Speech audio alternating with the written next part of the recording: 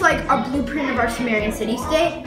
And you can see like the structures, and then we have the wall and the moat. Uh, I got assigned a moat, and some kids got assigned a wall, farmland, marketplace, upper class homes, middle class homes, the big ziggurat, the palace. But once we like cut out everything, we as a class decided where everything was gonna go. Here's the farmland. This is the moat, and you'll see there's little bridges connecting it to the land. Then there's this hallway that you open the doors to.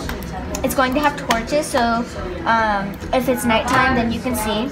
And then you can either choose to go this way, which I shut the door to, or you can go this way. I'm going to go this way.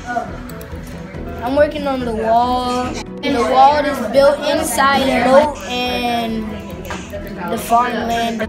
Yeah, in Mesopotamia, um, in the upper class homes, they had fires on the top of the houses so they can cook all their food so they can eat. This is the upper class home, and then on this, when you put fire on this, it'll like never go away.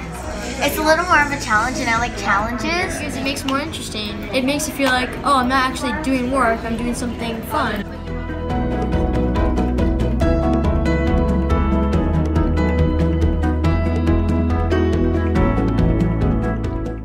Had a ton of vines there. They put cobblestone and they made it into kind of little gates.